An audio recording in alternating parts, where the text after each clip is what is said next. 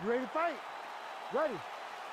Great to be back in the H-Town tonight here in Houston, Texas, USA, live from Toyota Center. And with authority, goes to the judo throw right into side control. He's inside control. He's got a ton of options.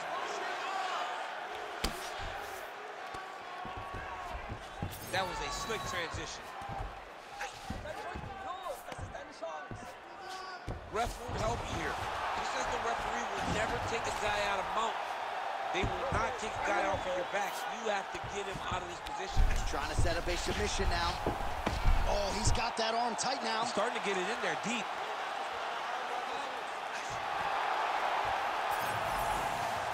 Oh, that's tight as he transitions to the belly down armbar.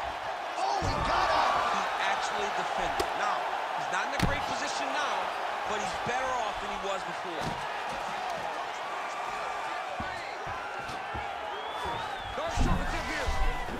At that, that's tight. Oh, that is gonna do it. That's gotta be it. There's the top. What a moment for this fighter here tonight. Called his shot, gets the win by way of submission. That after part is gonna be on fire. He got to his position.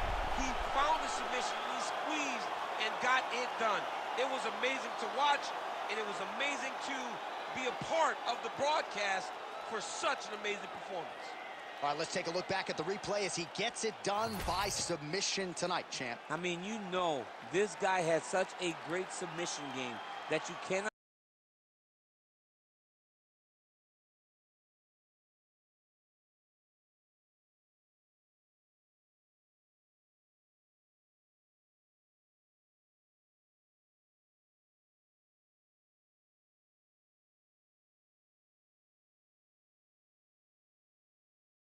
very first round, declaring the winner by tap out due to a D'Arce choke, Ely!